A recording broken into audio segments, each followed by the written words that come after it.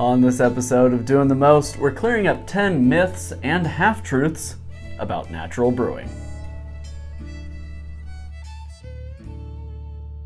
Homemade brews and various how-tos, everything from mead to roast, creation, fermentation, inebriation, doing the most.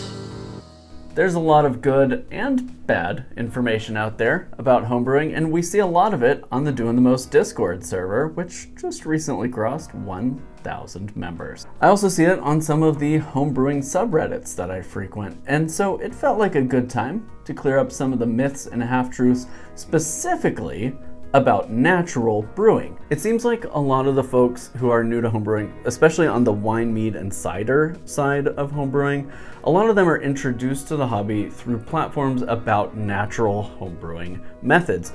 And those may be blogs or forums or YouTube channels or podcasts, but the platforms are generally focused on low cost, low upfront investment, both in equipment and in your own personal energy. But just like some of the old homebrewing books from the 70s and 80s, there's a lot of information out there that gets repeated and repeated enough that it becomes kind of part of the collective consciousness, even though it's not really accurate. And sometimes it's just flat out wrong.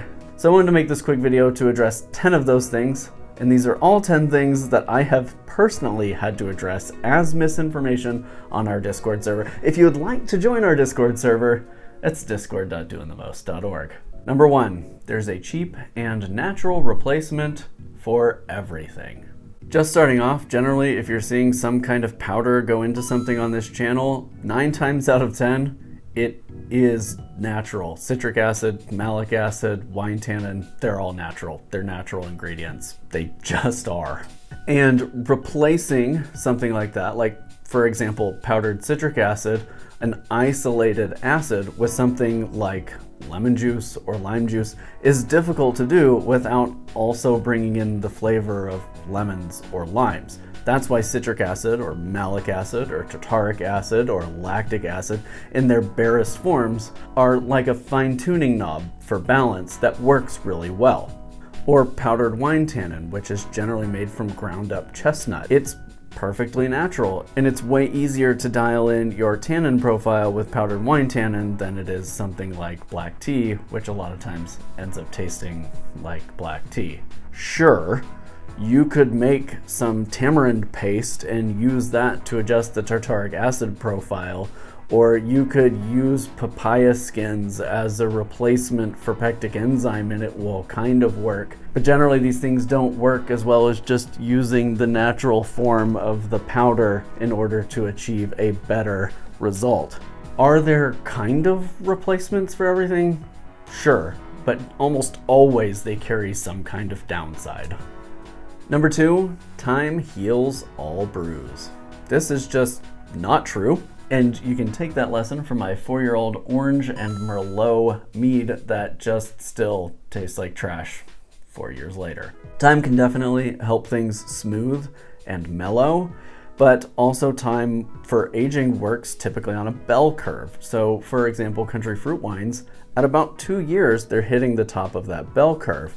So it starts out tasting kind of rough. Time improves it. But then after it peaks, time starts to become a detriment and starts to make it taste worse rather than better. There are a lot of things that can affect a brew when it's in the bottle. Tidal forces, environmental stuff, temperature, even light. But really when a brew doesn't taste great, you should balance it before it goes into the bottle because then you have more of an opportunity for time to smooth and mellow and make it more cohesive saying that time is going to fix something that tastes bad is just outright dishonest, because a lot of times it's going to taste bad regardless. But if you fix it before it goes into the bottle, your likelihood of it tasting good at some point is way higher. Leaning on the advice that you should just wait and maybe your brew will eventually taste good is dishonest. What the real advice should be is to make it taste good before it goes in the bottle. For more information on that, check out our video on balancing. Number three, fining agents strip flavor. The half truth on this is that flavor is always being equated to something good, as if using a fining agent is going to remove good flavor from your brew. Generally, if you're using a fining agent that is going to strip flavors, you're using it with the intention of removing something that you don't like. Sparkolloid, bentonite, and Kieselsol plus chitosan are proven time and again, both in homebrewing and in the industry, not to affect flavor negatively. But there are some fining agents that do strip flavor. Activated charcoal is often not recommended because it can strip both color and flavor. Sometimes gelatin is the right choice because it reduces unwanted tannins and proteins. Isinglass removes harshness and astringency. These actually may make your brew taste better. So yeah, sometimes fining agents can strip flavor, but usually when you're stripping flavor with fining agents, you're doing it to create a positive impact on your brew. It's not just somehow going in and removing all the good flavor from your drink. And I kind of don't understand why the natural brewing community is often against fining agents, because there are natural fining agents like bentonite that can be used and still align with that brewing philosophy. Just remember, you always drink with your eyes first, and if something looks gross, it's gonna trick your brain into thinking that it is gross. Number four, bread yeast. 71B or EC1118 are all you need. Yeast is a tool, just like any other tool you use in homebrewing. Bread yeast is like one of those little squeaky hammers. 71B is like a 5 16th wrench. It's good for a very specific use. EC1118 is like a Swiss Army knife, but a Swiss Army knife that also has a sledgehammer attached to the side of it. Each of these yeasts does certain things okay or even well, but none of the three is like the end all be all yeast for all brewers. Now, I understand there are some parts in the world where you can't get prepackaged wine or ale yeast, and bread yeast may be all you have. If that's the case, obviously that's the tool that you have in your toolbox. But if you have access to wine or champagne or ale yeasts, you should use a yeast that's going to best benefit your brew. It's a dollar typically for a packet of wine yeast, and it's worth the investment to get just what you want out of your homebrew. Choose the right tool for the job. Number five, natural brews turn out just as good. I mark this one down as a half truth because, yeah, sometimes they do turn out just as good. Sometimes they probably turn out better. And some of that I think is up to skill and technique, and some of that I think is up to luck. But a lot of times when I see this argument online, I equate it with the argument of, I've always done it this way and it turns out fine. But the like unsaid thing about fine is that you might not be living up to your potential. You might make really good homebrew using those practices, but just incorporating a couple of other things like using a champagne yeast or balancing your tannin or your acids might take those good brews to great. And you don't even know because you've boxed yourself into a philosophy where you've just flat out said, I can't use those things. Honestly, it's not being fair to yourself. Now, I totally appreciate the craft of trying to make good homebrew from stuff around the house, from the grocery store, from your garden. That's all fine and well, but a lot of the adjuncts, again, that we're using in modern wine and mead making practice are natural, and so there's no real reason to be averse to them unless it's just ideologically. And if that's the case, I guess that's fine. I just don't understand it. Number six, it's easier because it's simpler. I can see this one as a half truth philosophically. Yes, it's easier because it's simple, but then when you get to actually trying to balance the brew, it's not easier. You're fighting against added flavors from the other things that you're adding. Think back to our previous point and so it actually becomes a lot more difficult to achieve proper balance. And you have a lot more head scratching and hand wringing trying to figure out where you're at in the balance wheel versus just being able to add in a little bit of malic acid or a touch of tannin and really fine tune those knobs. Really, it feels like the theme of this video is fine tuning. However, if you're committed to naturally balancing your brews, we've got a video on that. Number seven, sulfites or sorbate in your wine or mead are bad for you.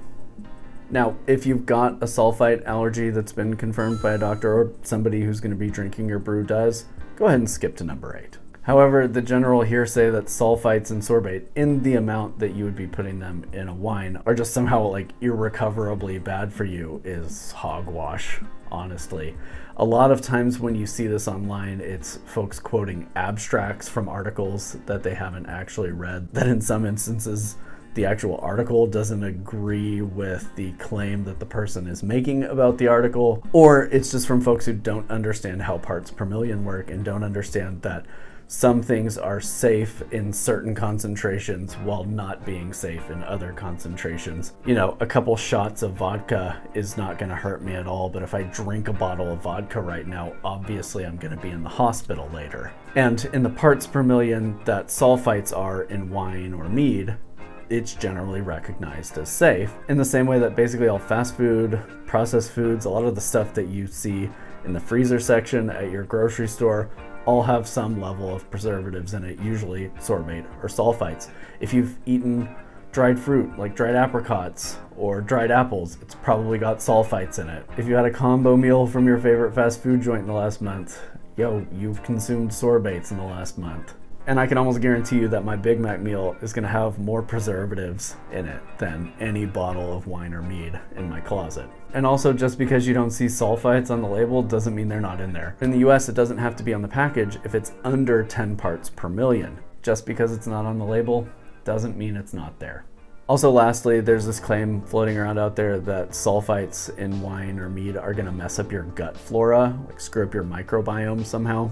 Alcohol, which is used as a sanitizer. It's used to wipe down surfaces. It's used to kill microflora, microfauna.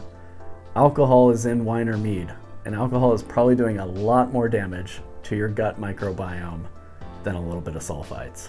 Number eight, the magical CO2 blanket and rough racking. I've seen a lot of folks kind of in the last like two years, especially on r slash mead, talk about this practice of rough racking, of pouring their mead through a sieve to get solids or herbs or whatever out. And if you're pouring your mead at any point, you're introducing oxygen. Now, there are certain circumstances where you might want to pour something. For example, if you've got a hydrogen sulfide fault in some wine, you might want to do what's called a splash racking, where you pour it back and forth from bucket to bucket until that rhino fart smell dissipates. In that case, you're introducing oxygen intentionally to combat that hydrogen sulfide fault.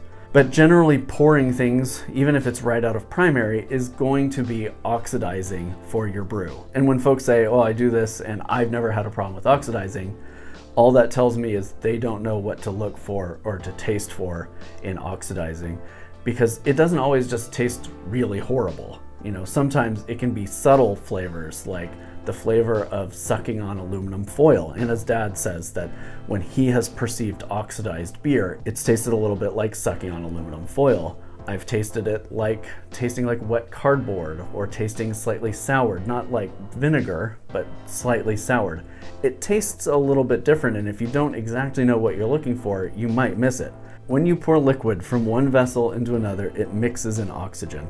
Just like how a waterfall mixes in oxygen into the water for fish to use in their gills.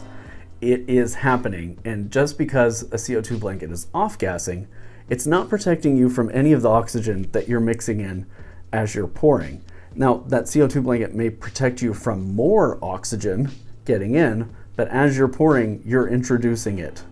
I promise you, you're introducing it.